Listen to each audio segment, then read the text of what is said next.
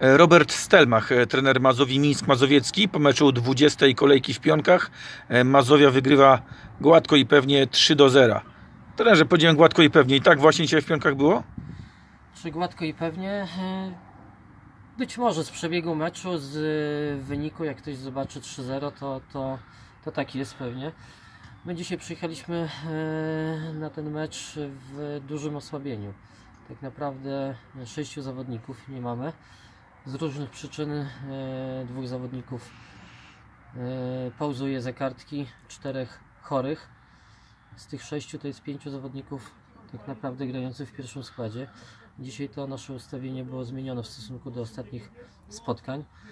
Ale zawodnicy, którzy dzisiaj wystąpili na boisku, pokazali, że, że potrafią grać w piłkę i ja byłem przekonany, że tak jest. No i to udowodnili poprzez działania, poprzez e, strzelenie trzech bramek. Nie straciliśmy nic, czyli to, to też jest duża zasługa całej drużyny. Podziękowania dla nich za, za zaangażowanie i za, za to, że wywozimy trzy punkty i, i wygrywamy spotkanie. E, Trenerze, e, prowadzę statystyki, to widziałem, że trzy celne strzały, trzy bramki, zero żółtych kartek, zero kontuzji, czyste papcie. Żyć nie umierać, można powiedzieć, w takim meczu. E, trzy celne strzały, ja bym policzył troszkę więcej tych celnych strzałów. Nawet Michała Bondary bramka na 4-0 nieuznana, to też jest celny strzał. E, Także czy były tylko trzy, no, trzeba było to przeanalizować. Myślę, że ich było troszkę więcej. E, To, że kartek nie złapaliśmy, to na pewno duży plus. E, Na tym nam zależało, żebyśmy nie łapali tych kartek. Trenerze, jak to jest, bo najwięcej bramek strzelonych, najmniej straconych, najmniej porażek, bez porażki na wyjeździe, a mimo tego i tak wiecie, że będzie trudno tą pilicę przegonić. To jest po prostu pech, że na taką mocną drużynę trafiliście, bo jednak dziś Mazowie jawi się jako mocna drużyna, tak, a mimo tego no, miejsce jest tylko jedno. Zgadza się, ta struktura w ogóle rozgrywek jest taka, nie inna, niestety. E, czyli nawet e, w tym momencie, jeżeli Czyplica zakładamy, że wygra tą naszą grupę, to nie jest pewne awansu. To jest duży minus i, i, i to jest e, no, na pewno dla tych wszystkich drużyn niedosyt jeszcze, bo to nie jest pewne. Mazowia myślę, że jest mocnym drużyną, mocnym klubem, stabilnym. E, Co zadecydowało, że mamy drugie miejsce, a nie pierwsze? No, ronda jesienna i, i mecze remisowe. Tych remisów złapaliśmy zbyt dużo i, i to, to jest najistotniejsze tak naprawdę i to przeważyło. E, Jaki stan jest e, na dziś? Trenerze, 7, 7 meczów y, do końca sezonu dla Mazowi i przesłanie dla innych klubów, że Mazowia jeszcze nie jest na wakacjach. Że Mazowia do końca będzie grała, że mimo tej straty punktów Mazowia wierzy, chce, będzie walczyła i, i nie ma tutaj myślenia, że to już koniec sezonu. Nie, koniec sezonu będzie po ostatnim e, meczu ligowym. E, Dzisiaj też, e, tak jak powiedziałem, z brakami kadrowymi, e, z młodymi zawodnikami, e, z debiutami e, w, w, e, w pierwszym składzie. Także my będziemy grali w każdym meczu o 3 punkty. Mamy 7 kolejek do rozegrania, 21 punktów do zdobycia i tak do tego podchodzimy.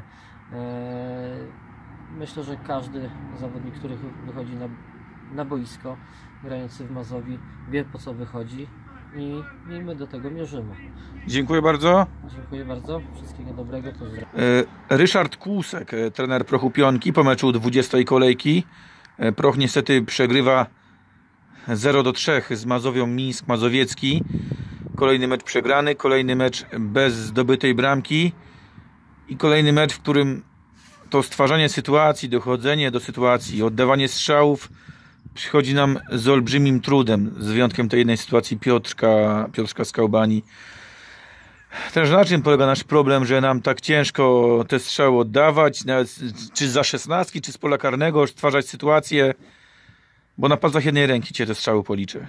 Dokładnie. y, No, cóż tu powiedzieć po tym meczu, którym y, w dalszym ciągu nie strzelamy bramek. No, jest problem niesamowity, jeżeli chodzi o finalizację akcji, zakończenie nawet strzałem do bramki. Ja już nie mówię, żebyśmy, żebyśmy strzelali bramki, bo, bo tu jest daleko do tego z racji tego, że my strzałów nie oddajemy.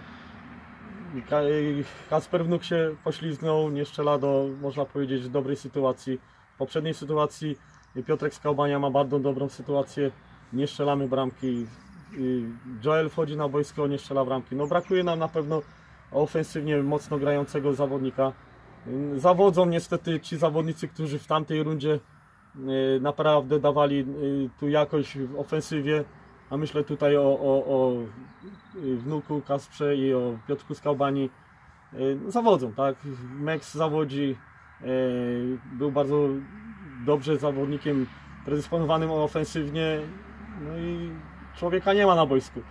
No jak nie ma napastników, nie ma się armat, no to, to się nie da w meczu wygrać. No i tutaj stoimy na, na, na tle tego kościoła, to można tylko przeprosić Pana Boga, kibiców za, za naszą postawę, no bo i, i, i muszę ja w swoim imieniu i całego zespołu i drużyny przeprosić, tak jak powiedziałem, wszystkich i ci, co nad nami czuwają, daj Boże, że jeszcze, żeby nad nami czuwali, bo jeszcze zostało 7 meczy, teraz ostatni mecz, który mamy rozegrać z Hutą Czechy, będzie meczem ostatniej deski ratunku. No, jak tego meczu, w tym meczu nie zaczniemy strzelać, nie przełamiemy się, nie, nie zaczniemy bramek strzelać, to możemy zapomnieć o bycie w czwartej lidze. Trenerze, ale w ilu procentach to są y, czyste umiejętności sportowe, tego, tego, że nie strzelamy bramek, a w ilu procentach to, że jakaś blokada, mental, głowa, to, że nie idzie, nie chce iść i nie możemy się przełamać? Znaczy, na pewno jest y, ważna y, psychika w tym wszystkim i nastawienie, i nastawienie odpowiedniej głowy na, na, na wygrywanie meczy. No nam to całkowicie gdzieś uciekło od pierwszego meczu z Grójcem, gdzie mieliśmy mnóstwo sytuacji, ich nie wykorzystaliśmy, przegraliśmy mecz. Tu przy stanie ostatnim, przed ostatnim meczem naszym z Oskarem Przysłucha mieliśmy też, y, gdzie przegrywaliśmy 1-0, mieliśmy sytuację i, i, Kacper i Jaroszek też y, po podaniu wstecznym od, od Piotrka Skałbani nie strzelamy bramki. Na, gro- na y, meczu z Wilgą Garwolin mamy w końcówce meczu fajną sytuację, stałe fragmenty gry, nie strzelamy. Dzisiaj, dzisiaj że tak powiem, dalej, dalej brniemy w dół y, takiej indolencji strzeleckiej.